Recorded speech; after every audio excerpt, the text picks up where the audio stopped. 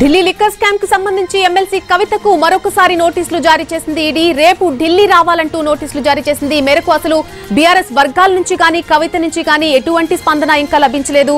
కవిత ఏ విధంగా స్పందించబోతారు అనేది కూడా ప్రస్తుతం ముఖ్యాంశంగా మారింది. అయితే కవిత నివాసం నుంచి పూర్తి అప్డేట్స్ అందించడానికి మా ప్రతినిధి రాఘవేంద్ర సిద్ధంగా ఉన్నారు. రాఘవేంద్ర ఈ నోటీసులకు సంబంధించి కవిత స్పందించారా? అటు బీఆర్ఎస్ వర్గాలు కానీ అసలు ప్రస్తుతం అక్కడ పరిస్థితి ఏ విధంగా ఉంది?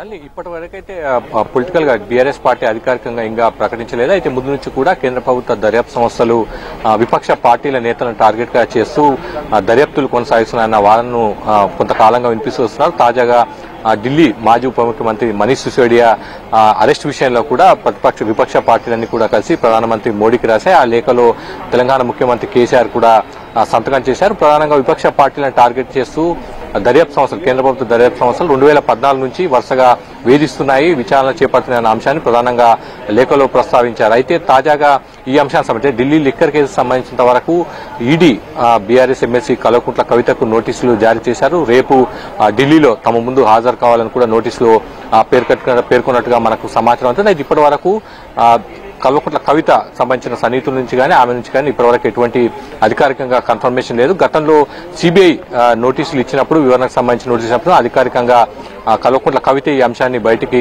ప్రధానంగా ప్రస్తావించారు. ఆ తర్వాత సిబిఐ అధికారులు వచ్చారు విచారణ చేశారు. తర్వాత అవసరమైన సమాచారం కోరిన కోరిన కోరిన తర్వాత కవిత ఆ సమాచారాన్ని సిబిఐ కూడా అందించింది. అయితే తాజాగా సౌత్ గ్రూప్ సంబంధించి అరుణ్ రామచంద్ర పిల్లేను నిన్న ఈడీ అరెస్ట్ చేసింది కోర్టులో ప్రొడ్యూస్ చేసింది. ప్రస్తుతం ఈడీ కస్టడీలో అరుణ్ రామచంద్ర పిల్లే ఉన్నారు. ఈడీ రిపోర్ట్లో పలు అంశాలు ప్రధానంగా ప్రస్తావించారు.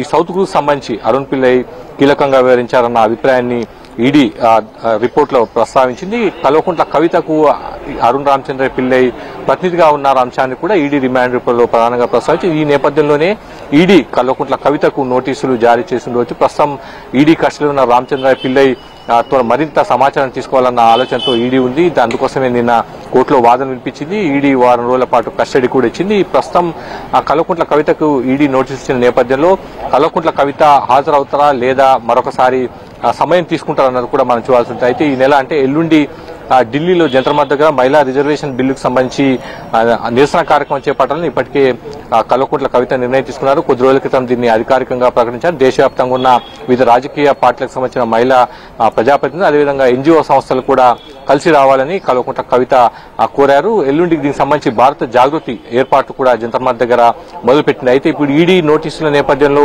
కల్వకుంట్ల కవిత మరోసారి అంటే ఇప్పటికే షెడ్యూల్డ్ ప్రోగ్రామ్స్ ఉన్నాయి కాబట్టి పదో తేదీన షెడ్యూల్ ప్రోగ్రామ్ ఉంది. రేపు షెడ్యూల్ ప్రకారం ఆమె నార్మల్గా అయితే రేపు ఢిల్లీ వెళ్ళాల్సి ఉంది. అయితే ఈడీ నోటీసుల నేపథ్యంలో ఈ దీనికి సంబంధించి ఏమైనా కొంత రిలీఫ్ కోరుతారంటే తర్వాత ఇప్పటికైతే షెడ్యూల్ ప్రోగ్రామ్స్ ఉన్నాయి కాబట్టి తర్వాత వేరే తేదీలు ఇచ్చి ఆ తేదీలో తాను ఈడీకి అందుబాటులో ఉంటానన్న అంశాన్ని కలకుట్ల కవిత ప్రధానంగా ప్రస్తావిస్తారా లేదా అన్నది కూడా చూడాల్సింది. ప్రస్తుతం అయితే ఆమె తన నివాసంలో ఉన్నారు. ఈడీ నోటీసు నేపథ్యంలో ఆమె న్యాయ నిపుణులతో చర్చించే అవకాశం ఉంది. ఆమె ముందున్న లీగల్ ఆప్షన్స్ను ఆమె ఉపయోగించుకునే అవకాశం కూడా కనిపిస్తుంది. అయితే ఈడీ ఒకవేళ సమయం కోరితే ఈడీ అందుకు అంగీకరిస్తుందా లేదా అన్నది కూడా మొత్తం మీద మనం చూడాల్సింది. నల్లి మొత్తం మీద బీఆర్ఎస్ పార్టీ అయితే ముందు నుంచి కూడా ఈ అంటే ఈ కేసు సంబంధించి రా- రాజకీయ దుర్దేశాలున్నాయి అందు అందులో భాగంగానే కలుకుంట్ల కవిత పేరును ప్రధానంగా పదే పదే తెరపైకి తీసుకొస్తున్నారన్న వాదనను వాళ్ళు కొంతకాలంగా వినిపిస్తూ వస్తున్నారు నల్లి right Raghavendra please be on on hold. మనతో